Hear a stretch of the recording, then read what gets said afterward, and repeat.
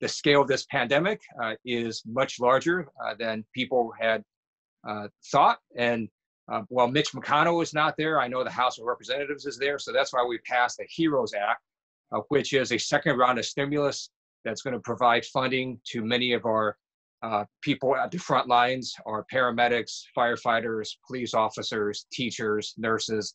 It's going to give money to cities, counties, states, and it also has uh, money for school districts.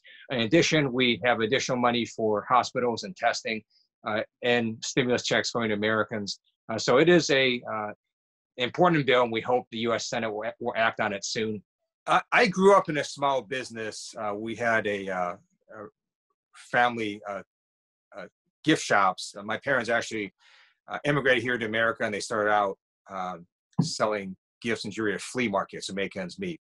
Uh, so I'm very aware of um, the issues facing small businesses, and that's one reason the fourth law uh, that Congress got through actually took a while because what the Republican-controlled Senate wanted to do was simply refund uh, and just increase funding to the Paycheck Protection uh, Loan Program, and uh, we were saying in the House, uh, no, no, no, there's problems with this program with money not going out to a lot of small businesses, especially in ethnic communities. So we fought for and got essentially carve outs in there for uh, CDFIs.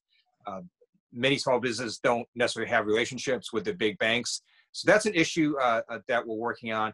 But it's also a challenge just getting small business to understand uh, that there is this program. Uh, I remember when our family was in a small business, we had no idea what a chamber of commerce was. we had no idea what really what's happening in most of government. We were just trying to survive and trying to sell gifts and make sure that we had uh, money to make payroll. And every small business is located in a congressional district. And while our offices are physically closed, we remain open remotely, and all our staff is working. And if someone has a issue with uh, getting a small business loan or a problem with the federal agency, we will help them. Uh, they should contact their local uh, members uh, of Congress's office and we have staff ready to assist with casework. Uh, in terms of uh, sort of looking out in the future, we just have to provide additional uh, sustenance to the American people, both to families and to businesses. It's pretty clear to me that even if governments all across America were to lift the stay at home orders, we would still have a slow economy because it's the virus causing us to have a slow economy. People are simply not going to engage in a lot of activities that they previously did because they want to protect themselves and their families. And that's going to keep our economy slow until there's a uh, drug therapy or a vaccine.